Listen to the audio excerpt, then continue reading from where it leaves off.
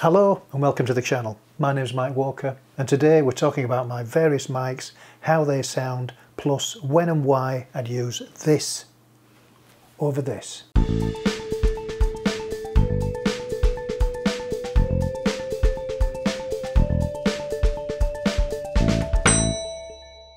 I've been recording audio since my first uh, studio back in 1987 and I used to make backing tracks for, uh, for, for artists and musicians. And I also used to record vocals and albums and instrumental uh, compilations and all type of things like that.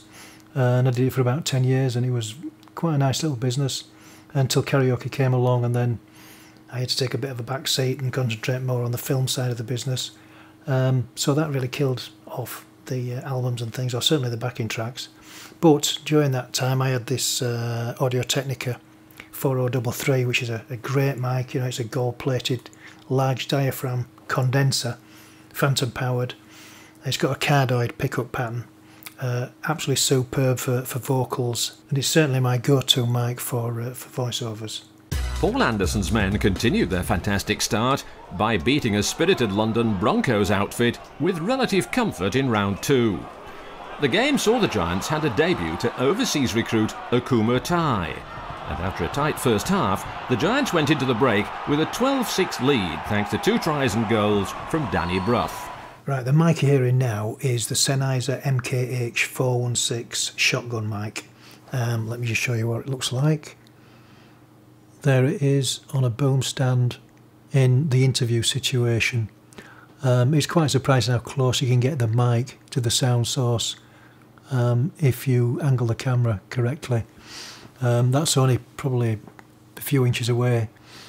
Seems to be the industry standard shotgun mic for, you know, used in broadcast and films. Uh, it is the, the microphone of choice for these people uh, because of its quality. Its build quality is superb. It's built like a tank. It can withstand all sorts of drops and kicks. I've had mine probably 15 years or so. Um, the sound is, is, is just amazing. Uh, it's, it's high sensitivity, which means you're going to get a little bit more volume from it as well, at the same level on your recorder. Um, the sound itself is very warm, full, and natural, accurate sound and you don't really have to do much in post with it. It sounds fantastic straight out of the camera. Um, and the sound rejection qualities of it, so any if it's not if it's pointing towards a sound source, that's what you're going to get. Certainly the voice, it seems to home in on the voice and uh, everything else seems to be fading in the background. It's, it's quite amazing how it rejects sound from behind and the side. They're not cheap. Um, it's probably about £800 to buy maybe a second-hand one you can pick up for 600 650 I don't know they hold the price very well so it's a bit of an investment if you get one the sort of competition would be half the price I suppose uh, certainly second-hand um, but if you want the best uh, get a Sennheiser 416 uh, there's many reviews on YouTube you'll see they all say the same thing uh, it's a question of do you want to pay that double the price for something that's is it double the to me it's justified, but uh, because it's a lifetime investment, you know. So if you've got a bit of spare cash, get an MKH 416 from Sennheiser. Yes and no. We had a fantastic pre-season. We, um, but again, we went there in, in pre-season and we got pumped. We got, I think we got beat about 20 0 and um, obviously kick up our behinds. But we went to, and then we played Widnes here. We pumped them, and then we just built built on week in week out from there. And we went there and we we're, we're full of confidence. And, and against Stu, I can remember his first run, he just skittled a couple of them, and I just knew from then on everyone was just buzzing and everyone was feeding off each other. And again, it was just a total different feeling from the year before. And everyone was working hard for each other, whereas last year it was all individuals. Well, this one is uh, a Shure SM58. Uh, the reason I've got this in my bag is because it's really good in high sound pressure levels. Uh, these mics were developed in the 60s, originally as a studio mic, in fact, but then later developed as a live performance mic uh, designed for high gain before it feeds back. Um, but the thing about it is, uh, if you want to record somebody, say in a, a nightclub uh, or a disco, and there's a lot of sound there, a lot of high pressure sound, loud noise, and you want to get an interview, then you can get one with this mic. It will actually work.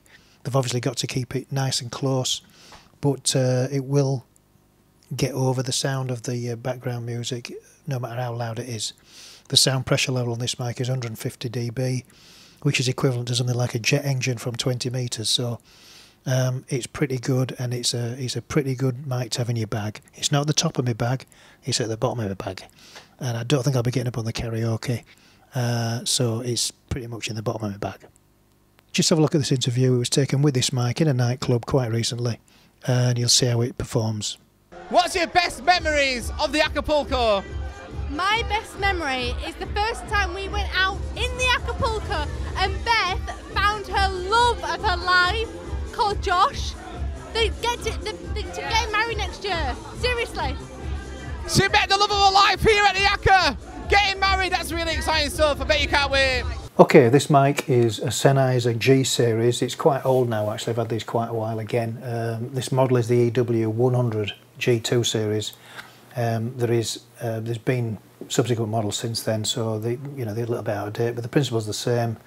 It's a wireless mic with a body pack, a lavalier mic, which sounds really nice, and uh, that transmits that where the cables are lost are between here and here, and this can be a distance of, I don't know, maybe 40 meters, I would say, probably a bit more line of sight, um, but, but quite a distance. I've never really tried it, but um, quite a distance, I would say 40, 50 meters at least. Um, so that goes into the camera or your mixer if you're using two. I do have two, so if I've got an interview situation where I've got a presenter and an interviewee, I'll give these one each, put them on different frequencies, uh, put them into the um, H5 and straight into the GH5. If I'm using the other camera, then I've got XLR inputs on that, and I'll just put one, one uh, in channel one, one in channel two. And it works great, and it sounds well. And here's a, an example of the sound of this particular mic in the field. Right, right. that's fine, Michael. Yeah, vision's very good there. Um, I'd like to show you the results of the scan that we did just a few minutes ago in the in the other room. We can come across and we can see. First of all, I'd like to show you the signs of the, the, the optic nerve head, which is where the optic nerve goes into the back of the eye, and that looks very, very healthy.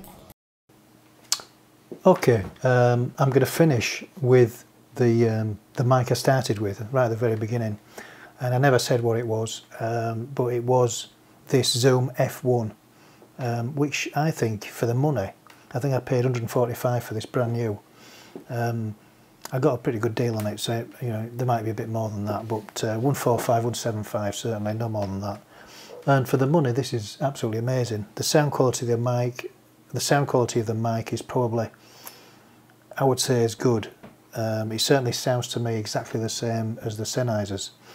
Uh, the unit itself is a recorder and it's unbelievably small for a recorder. Just works like the body pack on the uh, EW100. Um, but it records internally as well. So you plug the mic into here and then you've got an output if you like. You can just leave it and not have an output to the camera. You can sync it up later if you want. But I tend to, if I'm near or doing something like this, I will plug uh, the unit into the GH5 and then I've got I've got the audio on the camera and I've also got it on here as well as a backup. And you have a choice of recording formats. Um, it does WAV format um, and MP3. So if you want a big recording and you want a long recording, um, but you've got like a week or something uh, of, of MP3 WAV files, I think it's probably 45 hours on a 16 gig card. So um, I tend to record in WAV 16-bit 48k, uh, the same as uh, the default on on uh, on video recording, and it works fine um, if I need to use it. Um, but mainly, to be honest, I just use the sound that goes into the GH5. It sounds great. So this unit, um, I'm really happy with, uh, and if I'm doing something like this, I will just use this. Uh, if I'm doing some vlogging or uh, giving some information, uh, this is my go-to mic. You know, because it's so easy to set up. The batteries last for ages. Um, two batteries in this will give you 10 hours, 12 hours, I don't know, a long time. You can also use it as a um, an audio interface and you can tell it to, it runs off the USB, the power as well, so it's powered by the USB. Um, it's got the signal going in through the USB and you program whether you want mono, stereo, whatever you want and you can just plug it straight in there and, and you've got an audio interface. So it does so many things, it's so small, it's not expensive and the quality is good. What more can I say? It's light uh, I think it's a fantastic mic. And if you listen to the sound quality of this compared to the uh, S, the uh, EW100, which was the one before this, uh, obviously it's not going to sound as good as a 416 and it's not going to sound as good as an AT4033, but it's good enough for for vlogging and it's great in the field. So it's a great little recorder and I'd recommend it highly. To enable the GH5 to film at 60 frames per second in 4K, just follow these simple steps. Uh, this is the one that I normally film in, the 4K 50p um, 8-bit 4 to 150 megabits is the one that I usually use. So in conclusion, talking about the uh, various mics that I use and how I use them, um, we've talked about the AT4033, the studio mic. Um, that I would use for voiceovers in the studio, for high quality voiceovers, sounds tremendous. Uh, the MK416, the shotgun mic, I'd use for high quality interviews where they're sat there, a sport interview or a, a presenter, uh, that type of thing where they're not moving and you're in control of the situation. The 416 every time. Outside broadcast, 416 every time. Um, put the Rycote on it and you've got uh, all the protection from the wind. That's usually enough.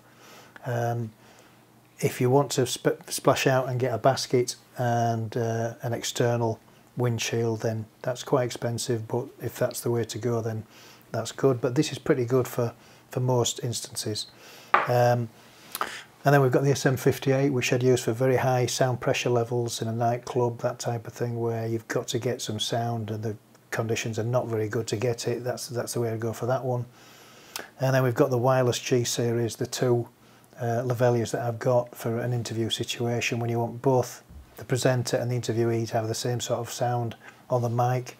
Um, and that's where I go for that. Also for for lectures for lectern type uh, presentations you know corporate do's that type of thing.